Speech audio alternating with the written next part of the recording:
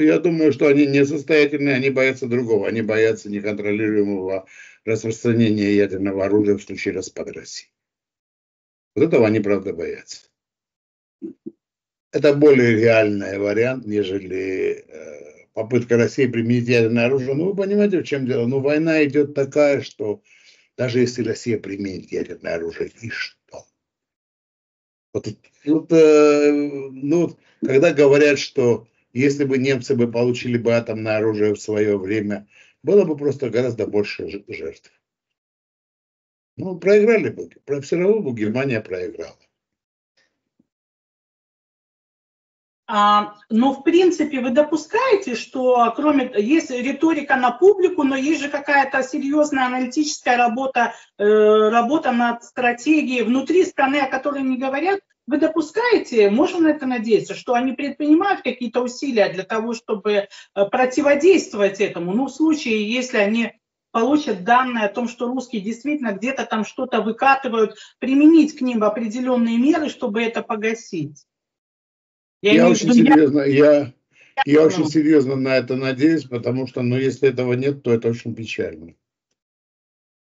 Угу. И вот опять же важный вопрос с точки зрения того, что вы сказали об Израиле, что Израиль заставил с собой считаться, как говорится, заставил себя уважать.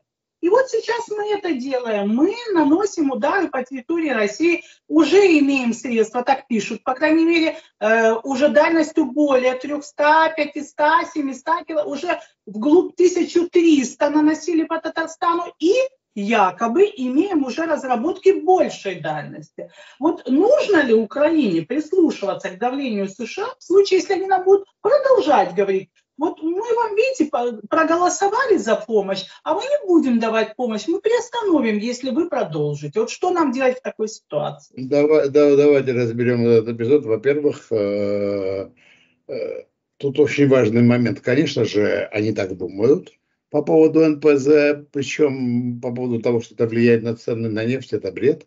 И Михаил Гончар очень хорошо об этом написал, и писал, и говорил, и все остальное. Но смотрите, Значит, тот же э, Остин сказал на слушаниях Конгресса, после чего э, официальный представитель Пентагона сказал, что это является личным мнением Остина, а не является позицией Соединенных Штатов. Очень важный момент.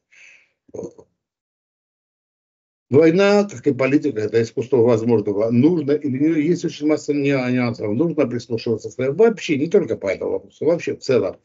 Нужно прислушиваться к ну, реально союзники, потому что только союзники могут помогать вооружениями. Или не нужно, это решать уже властям Украины. В каких-то случаях нужно, в каких-то случаях нет. Это очень, очень много факторов, от очень многих факторов зависит. Ровно так же, вот если мы берем про прошлое, то, что там давили, это один момент. Давайте, мы не можем осуждать тех людей, которые поддавались давлению. Но то, что продавалось по, по их инициативе, это э, уже по местной инициативе своей, это, э, это хуже, чем преступление, это ошибка. Хотя я считаю, что это и преступление тоже. Преступление, конечно.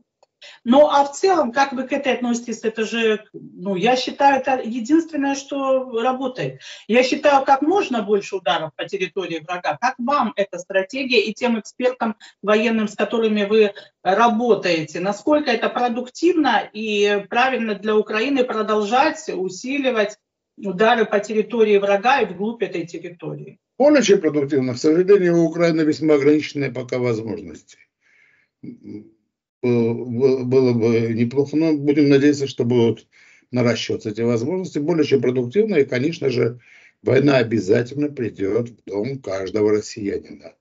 Они не должны в этом сомневаться, где бы он ни жил. Да, и это было бы правильно. Это было бы справедливо, и это, мне кажется, приблизит окончание войны. Кстати, на эту тему тоже идут споры. Некоторые товарищи считают, ну вы увеличите поддержку Путина, поддержку войны, э, если будете бить. А есть уже исследования, которые говорят о том, что поддержка войны так растет. То есть э, русские верят пропаганде, и они все равно нам враги в любом случае.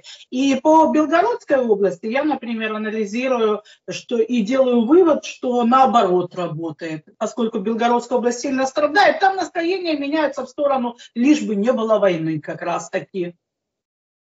Да, и чем э, больше будет наноситься ударов, тем больше будут россияне, дорогие россияне, задумываться над тем, что стоило ли начинать вот это все.